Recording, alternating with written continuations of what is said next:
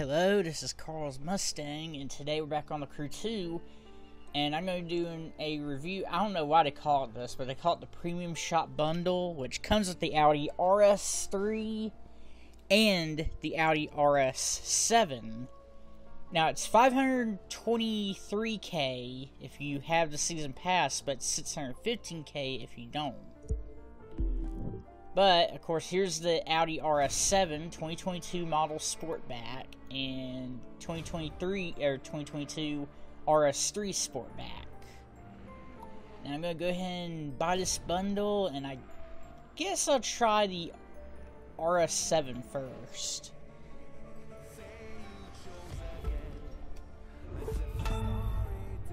we are with the Audi RS7, of course, fully upgraded and of course no pro settings.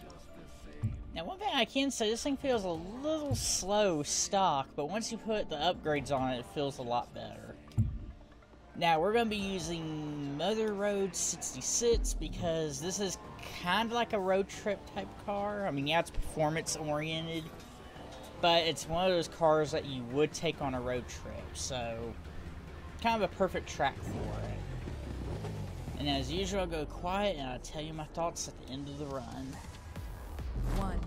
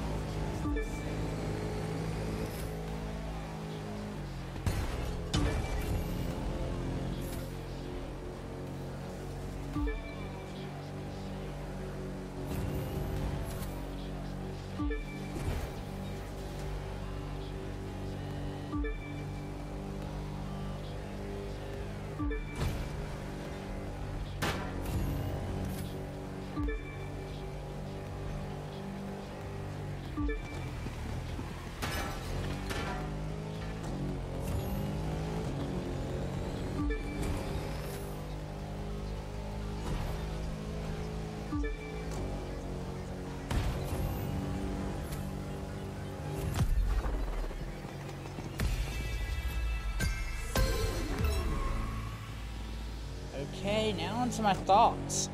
Not bad. I mean, it has a little bit of a sliding issue, which is kind of funny considering it's a Quattro, but not as bad as the Storm update cars back then. Like, it has a little bit of a sliding issue, but a little bit of camber and a little bit anti-sway will probably easily fix that. It's not a bad car at all. I mean, it's like the other Audis. It's not OP, but it it will be pretty fun to race and drive around with friends and all that. Also, I'm not sound sure, but I think the sound's unique. Because that's like a... It's like a deep V8 growl, like real, real deep growl I haven't heard from many cars in this game. Although it does backfire too much. Every time you downshift, this thing backfires. Oh, wait a minute. Oh, now it's gonna prove me as a liar.